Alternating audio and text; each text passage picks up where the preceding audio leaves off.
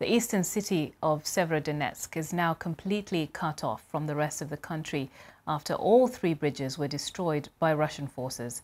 Heavy fighting has been taking place there for weeks. Thousands of civilians and Ukrainian troops are now trapped in the city with no way of delivering aid and supplies. Russia is also bombarding the neighboring city of Lysychansk, from which civilians are still trying to flee. Our international correspondent Orla Guerin with video journalist Colin Momoloy sent this report from the Donbass. Plus, max speed. We're told to drive at maximum speed on the exposed road to Lysychansk. A dark horizon greets us. Residents praying for salvation as Russia lays waste. Ukrainian troops call for help to take away one more victim of Russian shelling. Nearby, the rush to evacuate civilians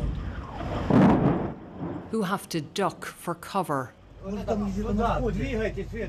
A panicked departure in an armoured truck. Well, people are taking this chance to get out while they can, but they know this could be a one way journey. If the Russians take this territory and they're getting closer all the time, these people may never be able to come back to their city and their homes. The situation is critical, a rescue worker says. Can't you hear the shelling? So another city empties out, here in eastern Ukraine. A few more wait anxiously for their turn, hoping to outrun moving front lines. Volodymyr is among them.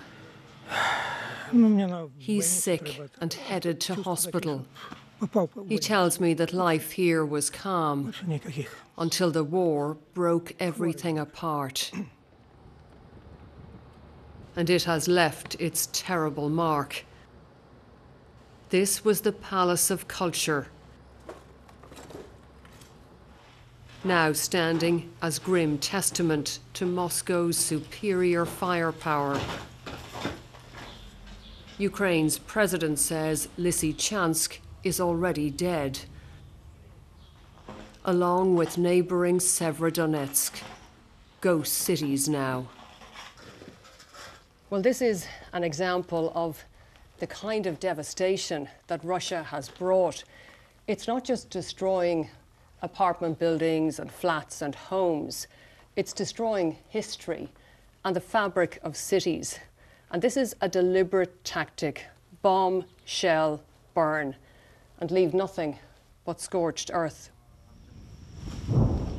Those who remain make brief escapes from their basements to cook outdoors.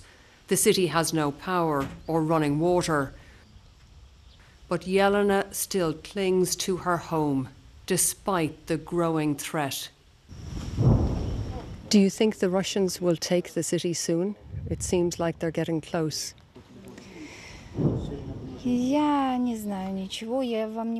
I don't know, she says. We're hoping it'll be okay. But the city is running out of time. This is now an artillery war. Ukraine doesn't have enough big guns or ammunition. At the 11th hour, another plea for help my message and message of Ukrainian people, I think we need victory, we need peace, and uh, we cannot uh, get a peace and a victory without help our partners. Uh, because without uh, equipment for our artillery, I think uh, we cannot uh, get a victory in this terrible war. As we spoke, the war came closer. but, but that was a Russian shell whistling over our heads. Just a short distance away, neighbouring Severodonetsk is burning and may soon fall. Inside the city, the last pockets of resistance.